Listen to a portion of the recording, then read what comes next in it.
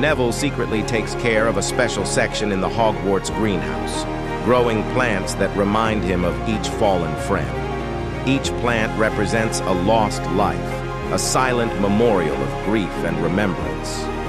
Cho has stopped playing Quidditch because it reminds her too much of Cedric and the happy days at Hogwarts before pain and sorrow changed her path. Ginny writes letters to the fallen that she never sends. Each letter is an unspoken conversation with a loved one, a pouring out of her heart that she can't say out loud. Luna always carries a small, handmade amulet that mimics the voices of her lost friends in the form of soft, soothing melodies.